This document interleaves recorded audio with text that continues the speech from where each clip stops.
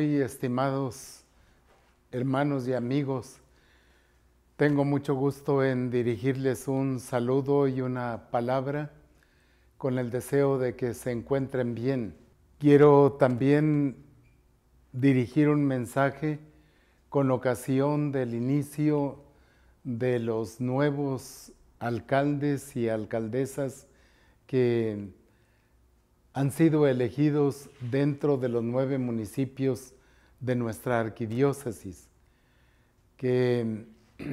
y desearles, pues en primer lugar, de todo corazón, un buen trabajo en favor de las comunidades. ¿Por qué dirigirle yo una palabra? Dice una carta a Diogeneto, muy antigua, que tuvo mucho valor entre los cristianos para hacerle la conciencia de ser verdaderos ciudadanos, ciudadanos buenos en favor de la, de la sociedad para los cristianos. Dice esa carta que los cristianos, aunque no somos de este mundo y que nuestra verdadera patria está en la patria eterna donde Dios nuestro Señor nos tiene preparada una casa, sin embargo somos ciudadanos del mundo y no somos distintos de, nadie.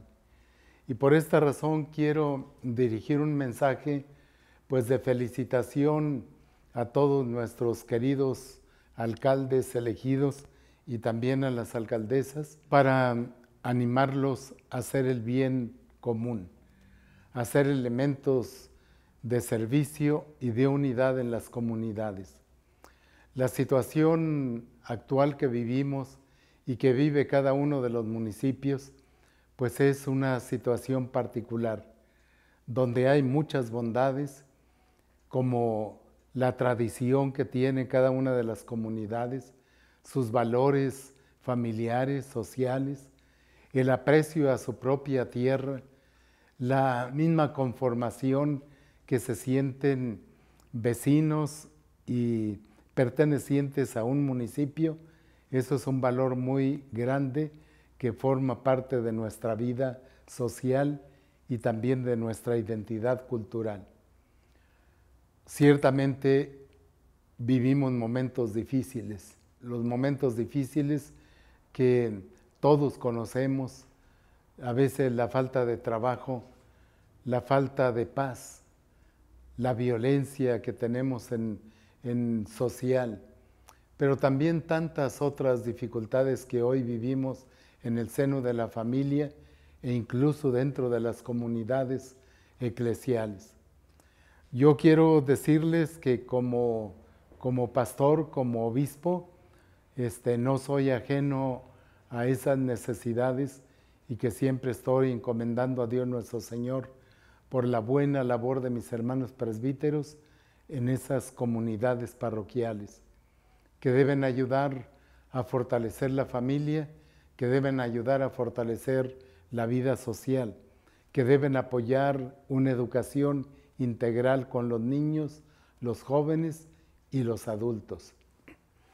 Y también saber que recuperar la salud en los municipios, recuperar un ambiente de fraternidad, Recuperar un ambiente social generoso es tarea de todos. Por eso invito a todas las parroquias, invito a todos los sacerdotes, invito a todos los fieles cristianos de nuestra Iglesia Católica y a las personas de buena voluntad a que cooperen en el bien común con nuestros hermanos alcaldes y alcaldesas. El trabajo desde desde la perspectiva y desde el deber común que cada, uno tiene, debe ser para el bien común. Necesitamos caminar juntos, necesitamos tener sueños mm, valiosos juntos para el bien de la, de la comunidad. Evitemos el individualismo, evitemos el ser personas pasivas que no se interesan por el bien común debemos ser buenos ciudadanos. Debemos respetar a nuestras autoridades, aquellas autoridades legítimas y que tienen la cualidad de unir y de servir a la comunidad con generosidad y con honestidad. Así es de que pues muchas felicidades. Este momento debe ser también un momento de unidad social. ¿A qué me refiero con esta expresión de unidad social? Me refiero a la amistad social.